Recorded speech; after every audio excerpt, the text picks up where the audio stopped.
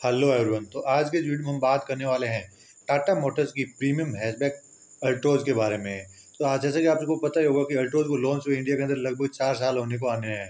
लेकिन अभी तक इसके अंदर कोई भी बड़ा अपडेट या फिर बड़ा फैसलिफ्ट नहीं आया है। तो अब यहाँ पर आप देख सकते हैं टाटा अल्ट्रोज फैसलिफ्ट के कुछ रेंडर डिज़ाइन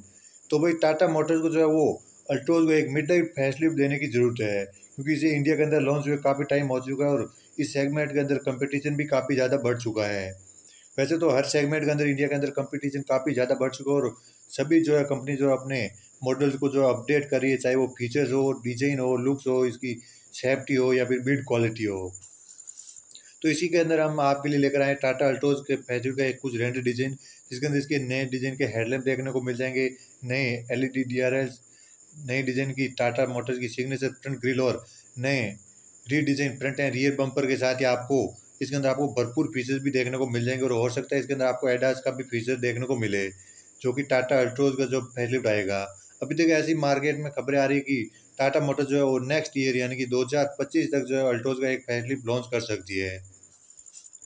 साथ साथ आप हमें कमेंट बॉक्स में कमेंट करके ज़रूर बताएँ कि जो रेंडर डिज़ाइन हमने आपको दिखाई, उसका जो लुक है वो आपको कैसा लगा। और देखते हैं भाई, जब टाटा अल्टोज का फैसलिफ्ट आता है तो इसी लुक को जो अपग्रेड किया जाता है, या फिर टाटा की जो डिज़ाइन है टू पॉइंट ओ जिसे टाटा बोलती है, जिसके अंदर आपको ऊपर की side L E D D R है और नीचे बम्पर के अंदर हेडलैम्प दिया जाता है, वो वाली डिज़ाइन फिलोसॉफी यहाँ पर भी देखने को मिलेगी, वो देखते हैं।